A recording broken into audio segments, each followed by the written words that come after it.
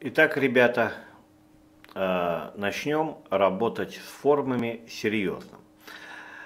Так как нам, повторяю, необходимо будет написать э, комментарии и сразу же вложенные комментарии и все в одном представлении, давайте поймем лучше, как работать с формами. Начнем мы сначала с общего. Ну что, не поправили это? Да здесь все просто на самом деле. Не поддерживает оператор плюс. Ну, на самом деле, всего лишь надо взять вот эту строку и переместить ниже. Вот, и ошибка ушла. Итак, ладно, погнали с формами. Переключитесь на ветку блок. Значит, для начала я хочу, чтобы вы взглянули и получили общее представление. Сейчас мы будем все это прописывать, но пока я просто вставлю, мы потом сейчас, я вас попрошу потом удалить. Пока просто в юху мы ни форумы не создаем, ничего. В, в форум spy просто-напросто пока вставьте вот такую вещь. Ну и чтоб э, все у нас работало, чтобы у нас все работало. Еще две строчки. Значит, теперь, ребята, смотрите. Вот мы с вами изучали модели. Перейдем э, в модель, например, в блок. И четко здесь мы с вами разобрались, что есть э, сама модель как класс, который наследуется от модели с модель. Есть поле, есть, то есть переменная, да, как экземпляр класса, и есть поле – в данном случае Charfield, ну разные поля. И есть настройки полей. Проще всего проходить э, формы в сравнении. Давайте откроем Forums. Просто взгляните. Мы тоже видим что-то похожее на поля и видим что-то похожее на настройки. Но это не настройки. Давайте разбираться. Сначала давайте зайдем в документацию. Сейчас будем с Python вообще-то еще работать. Сначала зайдем в документацию и откроем документацию по моделям. Fields Types. Типы полей по моделям. Обратите внимание –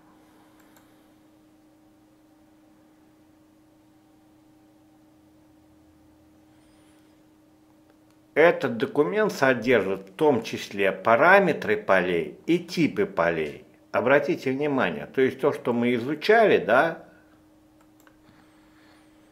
в моделях.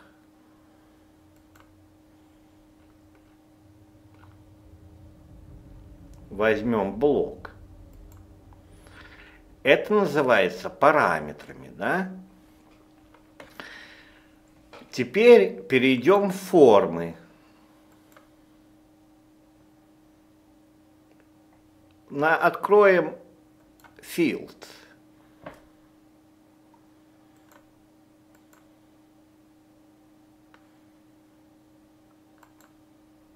Здесь это называется аргументы основного поля. Это разница. Как понять?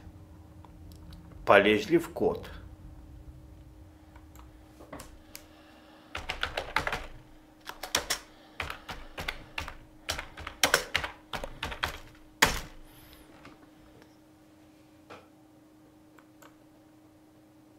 Нам надо исходный код. Заходим в Django, находим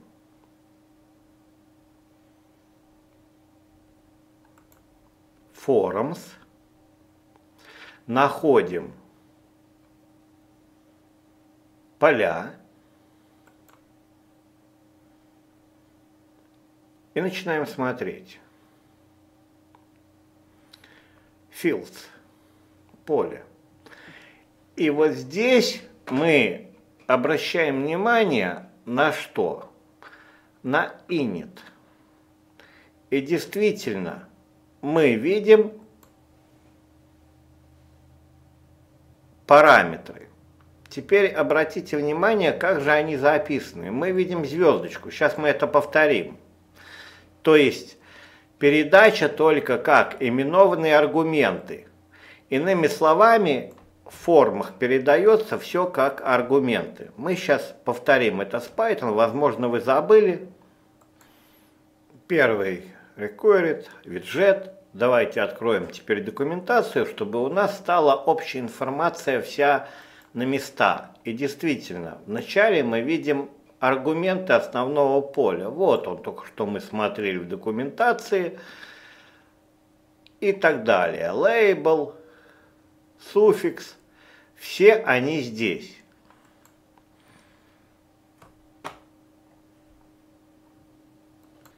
Делаем первый вывод. Первый вывод у нас следующий.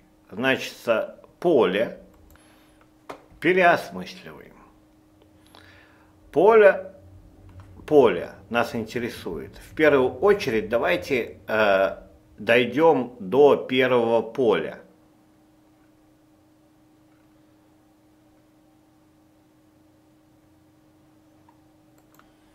Итак, смотрим сюда и сюда. Название сейчас не важно. Значит, если это класс, значит создается экземпляр класса. Далее э, Django разработчики объясняют, что есть формы с набором классов. Вот они пошли там перечисляться, мы можем посмотреть. То есть есть форма и есть поле этой формы. Теперь вопрос. Основное, что включает форма, это виджет. Ведь надо куда-то вписывать. Само по себе ничего не появляется. Например, charfill, э, виджет по умолчанию, текст input. По названию понятно, вот текста. Это нам понадобится потом. Про виджеты разберемся. И поле имеет определенные настройки, но на самом деле, как мы с вами разобрались, это про просто передача аргументов, которые мы с вами как раз-таки должны изучить. Сейчас начинает потихонечку все становиться на место. Чтобы создать форму, нам надо сначала импортировать путь, далее создать класс, который наследуется от форм, форм с форум, где мы сейчас были с вами в документации. Далее создать экземпляр класса, который наследуется от forms, выбрать поле и указать настройки. настройки полей влияют на поведение и отображение поля, а есть еще, мы далее рассмотрим, еще есть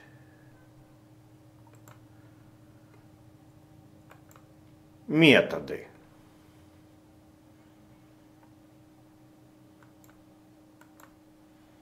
Методы. В данном случае мы уже применяли метод проверки полей, допустим, проверяет, введен ли e-mail с собакой, без собаки. То есть различаем сейчас сразу в голове.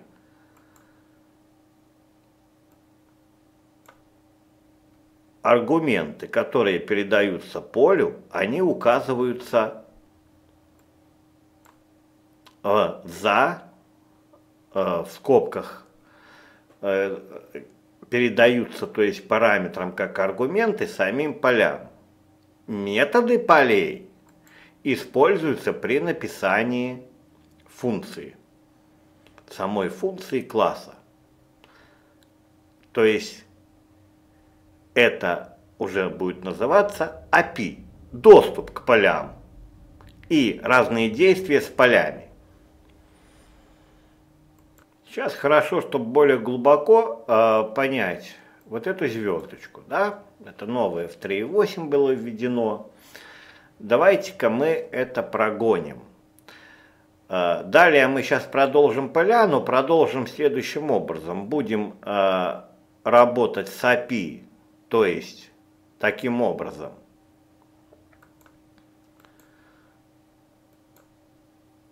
Работаем с API, смотрим, что происходит. Работаем с формой.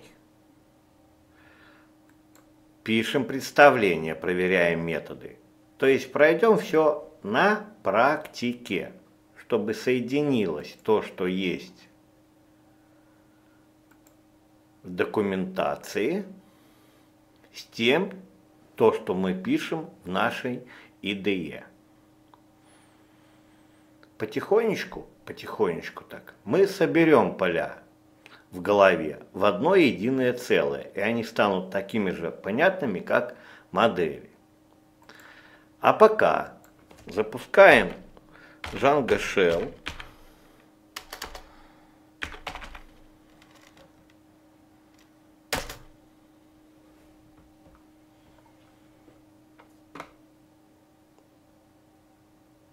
Мы с вами подготовили Forums App, Forums Learn.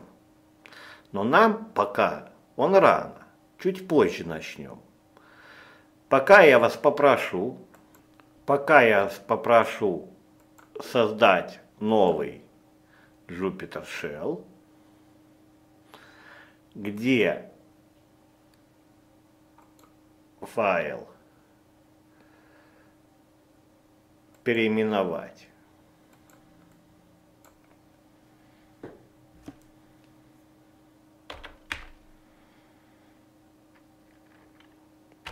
arcs.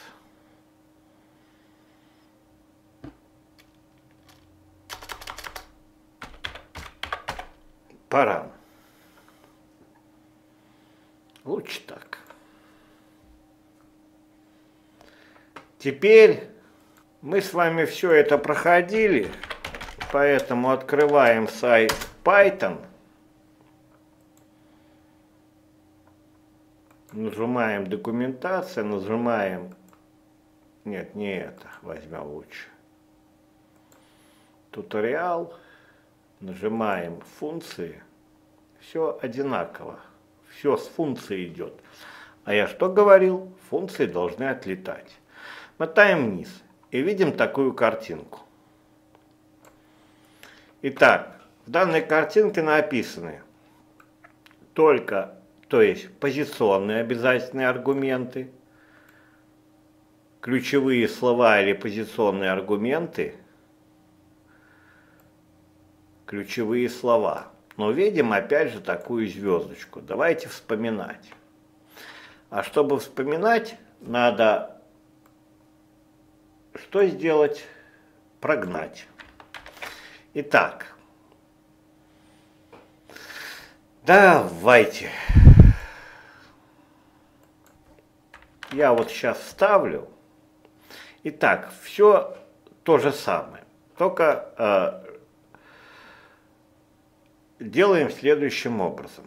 Итак, Shift-Enter и начинаем писать первый код. Первая часть говорит о том, что это позиционные параметры. Значит, сюда должны передаваться позиционные аргументы. Но мы видим косую черту. Вспоминаем, да? Что это значит? Это значит только позиционные аргументы. Иными словами, передача как переменных. Давайте это сделаем. Создадим функцию такую же f, И возьмем два этих аргумента, POS1, POS2. POS1, POS2. Итак, а, в обычном случае, вы это уже сами проверите, если убрать косую черту, мы могли передать их просто. Ну, давайте попробуем передать, передать следующим образом. Сначала напишем функцию. Итак, самое простое, чтобы понять только принцип. POS1 плюс POS2. Очень важно для чтения документации понимание. Я сказал, что это должно быть по взгляду. Вернуть POS. Enter. Итак, э, давайте попробуем. Ведь позиционные аргументы попробуем передать по-другому. Итак, записываем нашу функцию f. POS1 присвоим значение 5. POS2 присвоим значение 6. И попробуем вывести. Так, стоп. А я же не написал эту функцию а мне ее надо написать. А почему здесь не сработало? Ага, видите, как хитро. Это я за вас делал в любом варианте. Но мы же поставим черту сейчас и все переиначим. Черту. И нажмем Ctrl-Enter. И нажмем вот так. Теперь дулю. Что здесь написано? А написано следующее. Некоторые позиционные аргументы переданы как аргументы ключевого слова, а это недопустимо, потому что стоит черта, которая говорит только позиционные аргументы. Ну что ж, давайте попробуем переиначить. F. И передадим просто как переменные. 5 и 6. Вуаля, все сработало. Итак, отлично. Когда стоит э, косая черта, аргументы передаются, вспоминаем, да? Только как позиционные. Отлично. Следующий вариант. POS, AR, OR, QUARTZ. КВД, то есть слово. Э, это тоже сделаем. Делаем новую функцию. def F.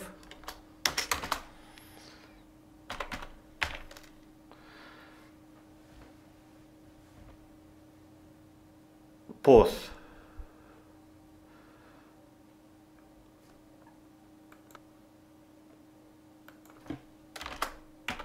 POSOR.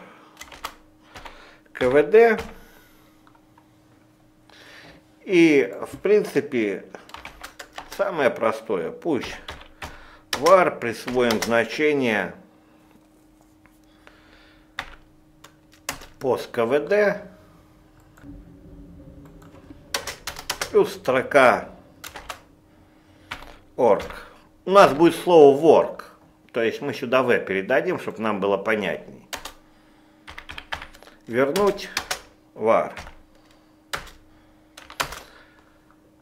Теперь давайте попробуем передать функцию как э, позиционный аргумент обычный. Просто. Ой.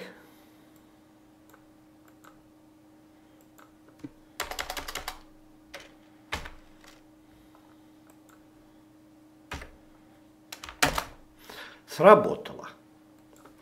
Берем второй вариант – передаем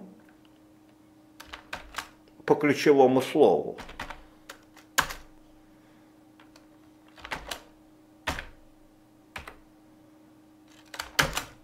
Сработало.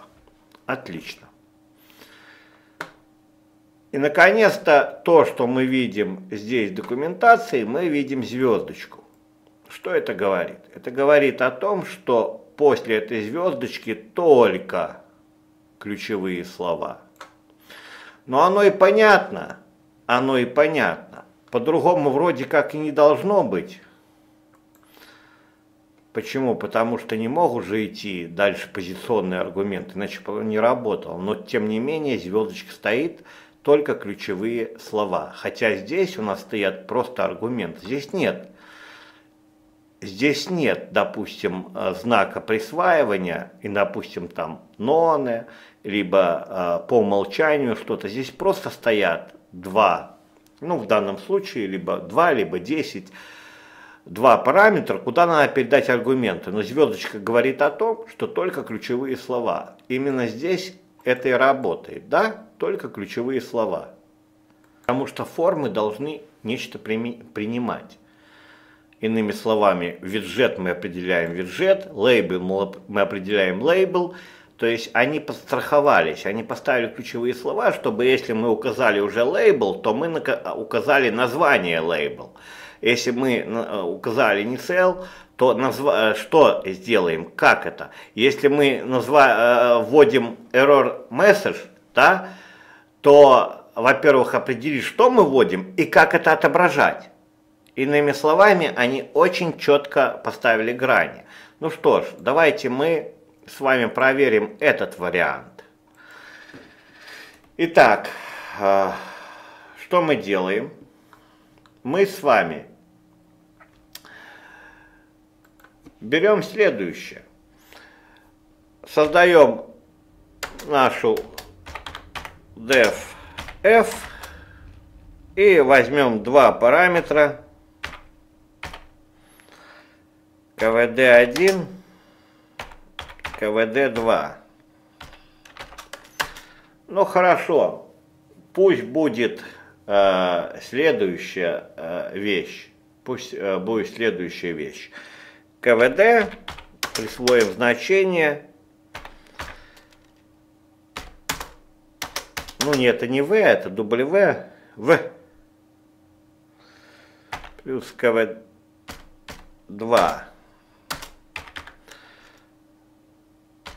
Вернем КВД. Shift-Enter. Итак, но мы забыли. Мы ставим звездочку. И вот так. И опять нажимаем Shift-Enter. А теперь давайте-ка попробуем. Вызываем нашу функцию и попробуем передать э, как позиционные аргументы. Ведь их два всего, да? Попробуем. В или пусть будет ВО, а здесь строка ERC, work. Нажимаем Enter. Черта с два. А, переведите тут скажу, что ну, нельзя передавать позиционные аргументы. Давайте-ка попробуем сделать по-другому.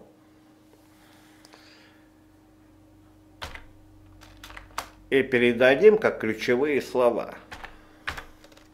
КВД-1 во,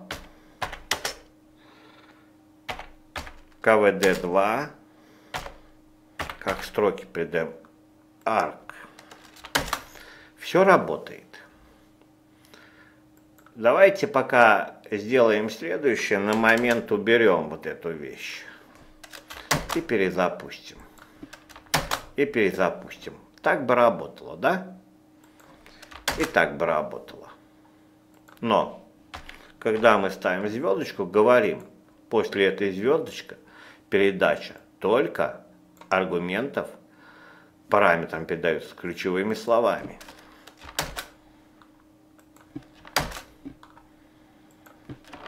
Именно это мы увидели в Django. И оно здесь оправдано. Действительно, А посмотрите, логика, в общем-то, очень правильная, да, правда?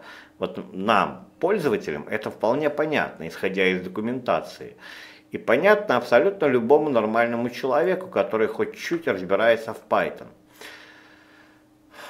Мы указываем просто что-то, да, переменную. Взяли, введите e-mail, да, а к чему он относится? К label, к label суффикс, к error message, к чему? Неизвестно. Посему разработчики позаботились, что если мы указываем label, то надо указать значение, а не просто значение. Теперь нам понятно, что модели я уже не буду сейчас затрагивать, мы их разбирали уже, да, и будем дальше разбирать. Теперь понятно, почему звездочка, теперь понятно, что мы будем передавать. По крайней мере, не так много э, аргументов, с которыми надо разобраться. Итак, для вводной части пока это все. У нас есть вся информация основная. Дальше можно работать с методами. Для тех, кто начал с этого видео, возможно, вам непонятно. Начинать надо. Конечно, вы можете начать. На канале есть видео, пишем сайт с нуля. Там уроки бесплатные, 40, 41. Дальше уже идут такие вот обзоры, да. Но иногда я и делаю такие уроки, чтобы вы поняли ценность этого материала. Все подробно. Но лучше всего, конечно, работать spb-tut.ru и до создания сайта больше 100 уроков. Войти в Django и так далее. Есть вещи, которые надо знать досконально до создания сайта. Тогда у нас все пойдет как по плану.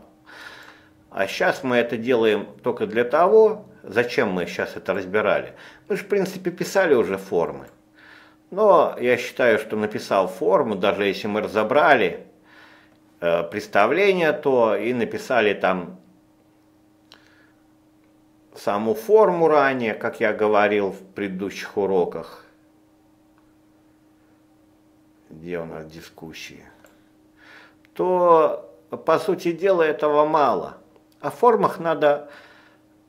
Э, мы же достигаем, добиваемся чего? Чтобы использовать документацию – но я всегда учил ребята так и учу, что запомните, исходный код всегда дополняет документацию, ставит все на места, то, что мы недопонимаем. Я вам сейчас это доказал. И скажите, что что-то было сложное. Все дело в том, что если бы вы ранее послушали меня, кто послушал прошли функции, то бы вы, вы знали бы, что считывать. Я еще чуть позже расскажу, как считывать слои кода. Ну, это уже другая тема. Пока все. Итак, продолжим формы.